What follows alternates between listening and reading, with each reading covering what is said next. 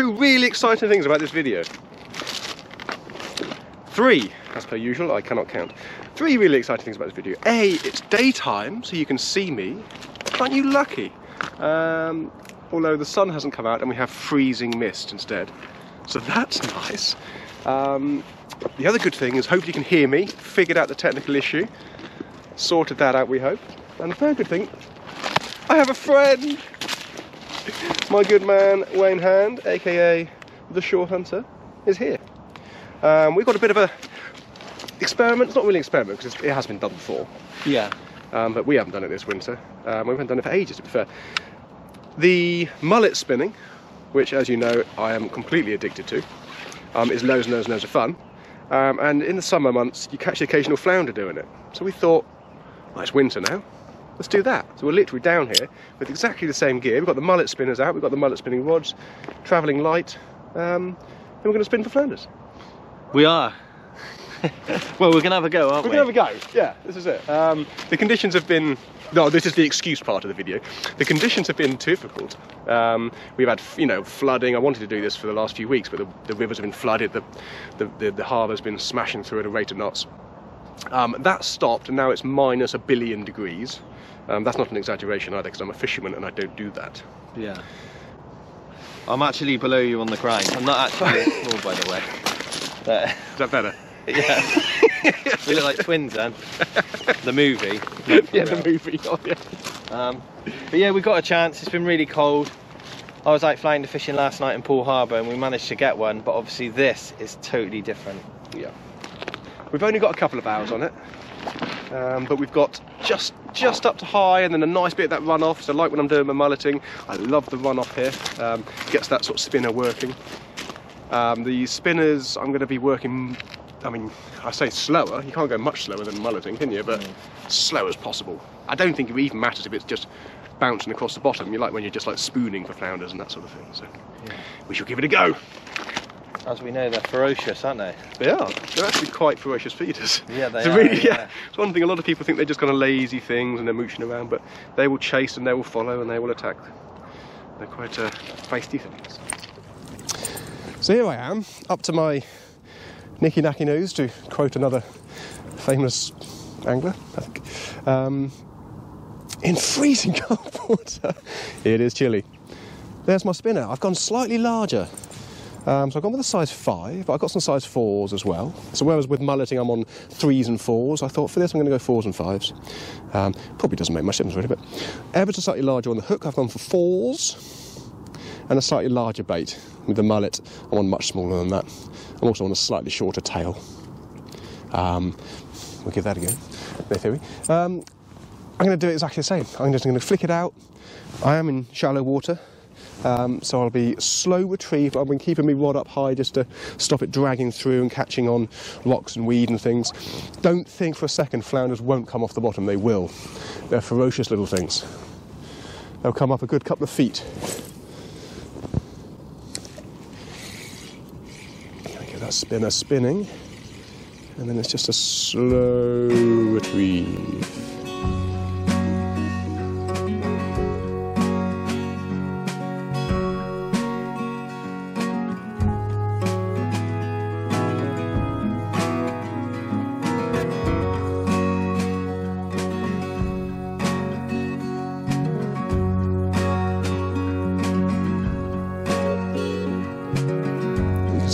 Gloom. It's hoping the sun was going to come out today.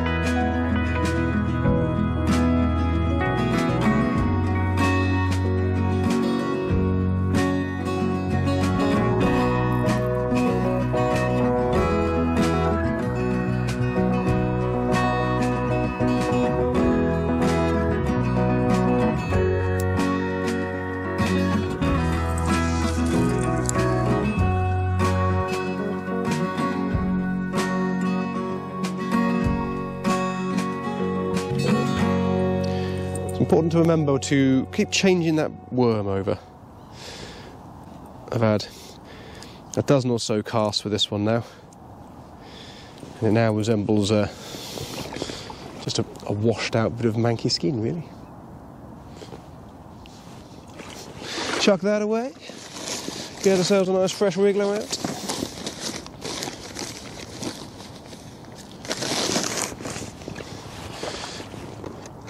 Don't forget to keep your worms well wrapped up this time of year as well. They do not like that really cold weather. Amazing how quickly they'll die. There we go. Same as mulleting. Head hook the ragworm with the top hook, all the way down to the bottom. As with all my fishing, no worm trailing below. Beautiful, fresh, juicy worm. Let's hope a fishy thing so. It's funny spinning here this time of year. Normally, uh, most casts in the summer, you've got some kind of fishy interest, whether it be two inch bass or mullet. But this time of year, absolutely nothing. No little, little checkers. That's when it becomes mind over matter. It's so easy with spinning lure fishing, whatever you want to call it, to, you know, give it a go, half hour in, you haven't caught anything, let's do something different, let's just chuck a bait out and sit there and play on your phone or something. But don't give up, don't give up with lure fishing. Or spinning, or whatever you want to call it. I always say to people, you wouldn't go down the beach, chuck your rods out, your bait, sit there, and then half an hour later give up.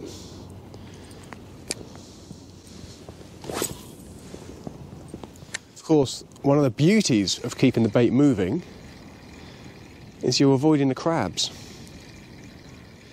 If your local estuary or harbour or river is also a crab haven, you'll know how frustrating it can be. Or bait fishing for flounders and just constantly getting stripped by crabs. Unless the crabs are feeling really energetic and lively, they're not going to be chasing a spinner. I might have to get out of the water in a minute, do some bank fishing. Just defrost me gonads. I should put my gloves on, really. Why haven't I done that? Stupid boy.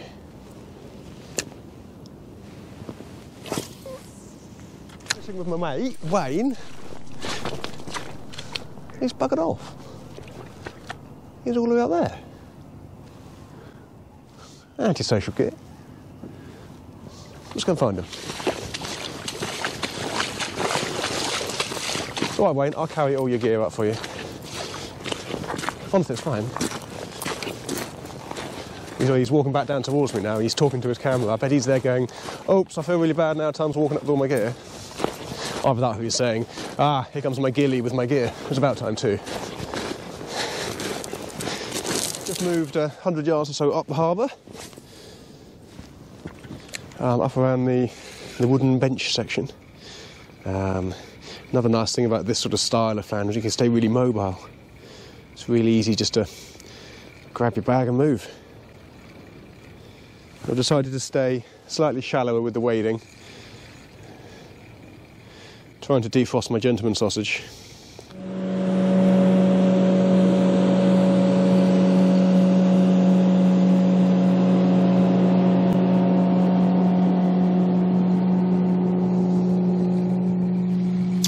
Entirely sure he's sticking to the speed limit.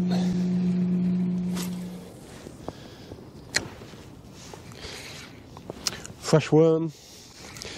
Another little 50 yard move. Every time I do things like that, you get oh, a little more confidence, but then the next sort of three, four, five casts feeling like, oh, this is the one.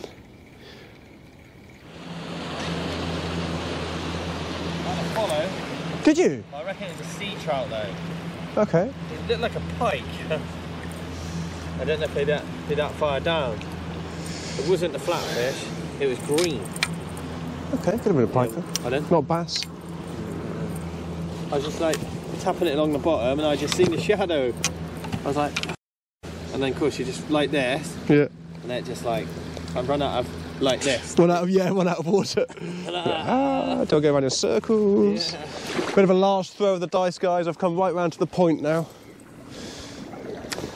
Tide's just starting to move a little bit. This is nice. This is the spooning that I wanted. 2023. No one's judging. Apart from these guys. So Tom was fishing down there. I've walked up here and I've had a follow. Mmm. Where's Tom? Nowhere. Nowhere. I've definitely not just jumped in your swim and kicked you off. No. I wouldn't do that. To be honest, I've been flounder fishing all night and I'm absolutely frozen. Um, but yeah, we've kind of we've give it a go.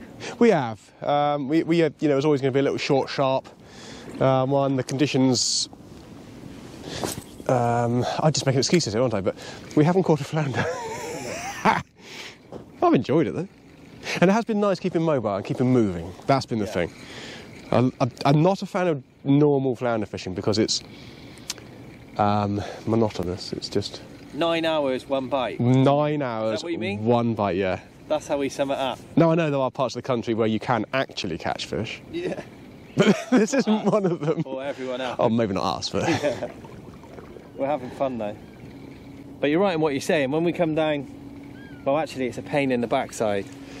When we're mullet fishing, you get them rattles, aren't you, constantly? Oh, it's And it- constant, It, yeah. just keeps you going though. it does because it's just life, you know. Yeah. There's, there's fish there. There's, um, and to be honest, and you can see fish. You can see the mullet moving around. That sort of thing. Um, this time of year, January, it's it's it's bleak and lifeless. Hmm. Not selling it, are we? But come down, buy some bait from Tom, buy a day ticket. I'm sure you'll have a great time. No, it's fine. It's fishing. Everyone knows this. Absolutely. We're not reinventing the wheel, but No. we're out trying different things. especially floundering. Yeah. Nobody catches flounders every time they go. Oh no. To be fair though, what we're doing is what probably a lot of people will be able to do after work. Yeah. Not everyone. Well, we we haven't got all day to come all the time, um, but some people have literally got two or three hours like us, um, and that's what we've done today. Yeah. And we've still had a good time. Yeah, I always enjoy it. It's just nice to be out. It's nice to be out daytime as well, because I've always said this in the past. I my daytime sessions are always limited. Yeah. So much of my stuff is evenings, uh, which is fine, because you know I live in an area where the evening fishing is very good. But it's always just nice to fish daytime, isn't it? Yeah. To enjoy the scenery a little bit more. Definitely.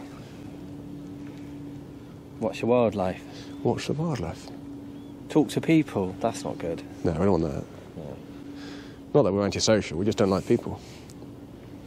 I'm going to wade out a little bit further out there, Yeah, go out onto the, you know where we go out there. Yeah. Nice bar. just to really freeze my gonads off. Yeah. And then once they've got to the stage where they've broken through the pain and they're now just numb, then we'll have a walk home and warm them up, shall we? Um, well, I say we warm them up. No. Can I rephrase that so slightly? I'll cut this whole bit out, it's fine. Sorry, I'm not the one with the pink hat on talking like someone else. I'm now running away from Wayne. It's getting frisky. Well, we've finally frozen to death and we're uh, running away. We didn't have a lot of time today, but we've actually cut it short even then, haven't we? it's just so cold. Um, that's a terrible excuse. We didn't catch a flounder, which is a shame. Um, that doesn't mean that we did it wrong. I'm going to come back and do this again, without a doubt. Um, I just think I'm going to wait for the for the conditions to be slightly more in our favour, and perhaps not minus a billion.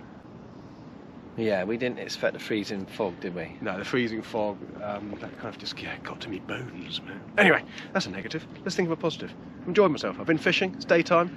Yeah. Got back out with you, which is always nice. Um, Thanks. And the next video can only be better, right? Yeah, but it's good. Like you said, this is fishing. You know about it by now. If you come out and try something a little bit different, we could have brought the bait rods out and gone to We done- Harbour, Yeah.